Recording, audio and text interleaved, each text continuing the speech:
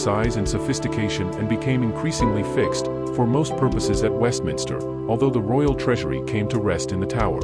While the city of Westminster developed into a true governmental capital, its distinct neighbour, the city of London, remained England's largest city and principal commercial centre and flourished under its own unique administration, the Corporation of London. In 1100, its population was some 18,000, by 1300 it had grown to nearly 100,000. With the Black Death in the mid-14th century, London lost nearly a third of its population.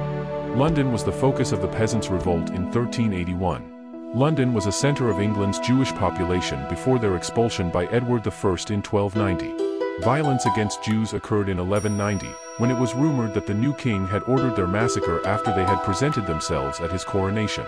In 1264 during the Second Barons' War, Simon de Montfort's rebels killed 500 Jews while attempting to seize records of debts. During the Tudor period, the Reformation produced a gradual shift to Protestantism. Much of London property passed from church to private ownership, which accelerated trade and business in the city. In 1475, the Hanseatic League set up a main trading base, Kontor, of England in London, called the Stahlhof or Steelyard. It remained until 1853, when the Hanseatic cities of Lubeck, Bremen and Hamburg sold the property to Southeastern Railway.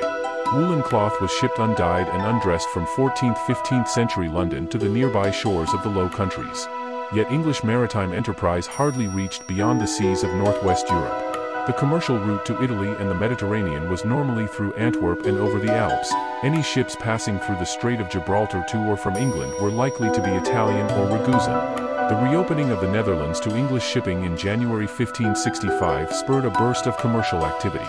The Royal Exchange was founded. Mercantilism grew and monopoly traders such as the East India Company were founded as trade expanded to the New World. London became the main North Sea port, with migrants arriving from England and abroad.